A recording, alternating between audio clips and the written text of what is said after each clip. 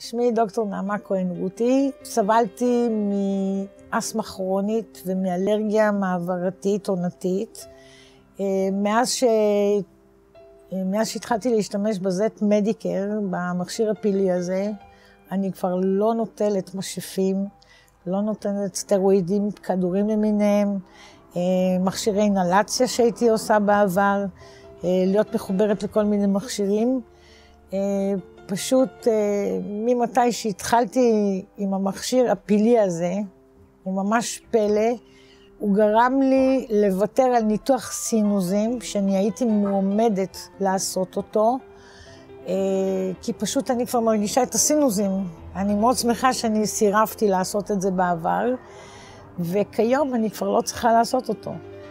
אה, הבן שלי, שהוא בן 16 בערך, 16 וחצי, גם היה סובל מאסמה, מאלרגיה מעברתית, והיה נוטל מדי פעם כדורים של סטרואידים. וחשבתי שאם זה עובד עליי, זה יעבוד גם עליו, וזה עבד עליו. אה, עובדה שהוא כבר לא נוטל, משימוש קצר של, של מכשיר הפלא הזה, הוא לא נוטל יותר כדורים. אני לא נוטלת משאפים יותר, אני לא נוטלת סטרואידים בכלל. אני קמה רעננה בבוקר, וכמות הפנים שלי חיות. אני מרגישה שאור הפנים שלי, כאילו שהייתי, שמרחתי על זה קרם, קרם פנים, אני מרגישה הרבה יותר טוב. בעבר לא יכולתי לישון, הייתי בלילות מסתבכת, והייתי מפחדת להירדם, כי לא הייתי יודעת איך אני מתעוררת, ולא הייתי יודעת באיזה מצב אני מתעוררת. אבל עם, עם המזט מדיקר, אני, אני מודה לאל שמישהו יצר את הדבר המופלא הזה, שיכול לעזור ולהציל אנשים, ואני לא מבינה איך קופות החולים לא נותנים אותו לשימוש לציבור שלנו, כדי למנוע עוגמת נפש של כל מיני כדורים, של סטרואידים. אני כבן אדם שסיימתי רפואה, רפואת שיניים, תואר uh, MB, אה, סטרואידים זה דבר שהוא רע לגוף, הוא ממש רע לגוף. יש אותו במשף שלנו, יש אותו במכשיר אינהלציה, יש אותו בכדורים שאנחנו מקבלים.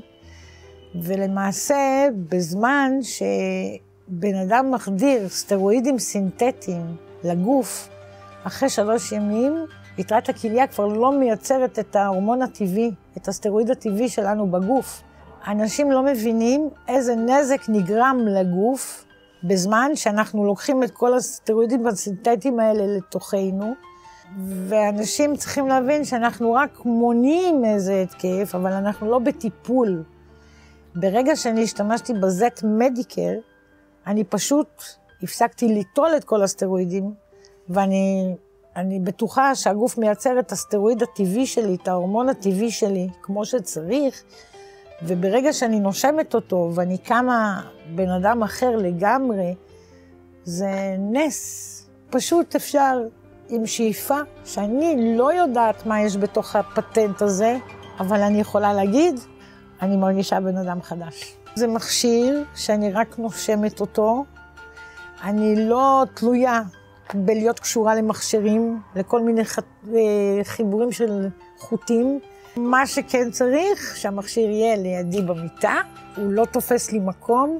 למחרת בבוקר, אם אני הולכת לישון איתו בלילה, אני קמה רעננה, אני קמה בריאה, אני נושמת מה שלא הייתי יכולה לנשום לפני, ואני מאחלת שלכל אלה שסובלים את מה שאני סבלתי, את מה שאני כבר סבלתי בעבר, אני כבר לא חושבת שאני סובלת, אבל אני מאחלת לכולם שיהיה את הפטנט הזה, שייתן רק בריאות.